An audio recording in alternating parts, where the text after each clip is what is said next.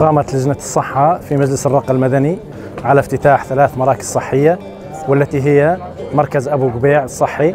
مركز القحطانية الصحي ومركز قديران الصحي والتي كل منها يقوم على استقبال أكثر من 150 آه، شخص مريض بكافة الاختصاصات. هذه المراكز آه، مجهزة بكادر طبي كامل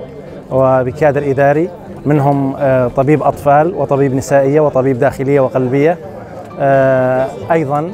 تم تمويل هذه المراكز بأدوية نوعية من كافة الاختصاصات وتقوم هذه المراكز على استقبال كل الحالات من كافة الاختصاصات المرضية.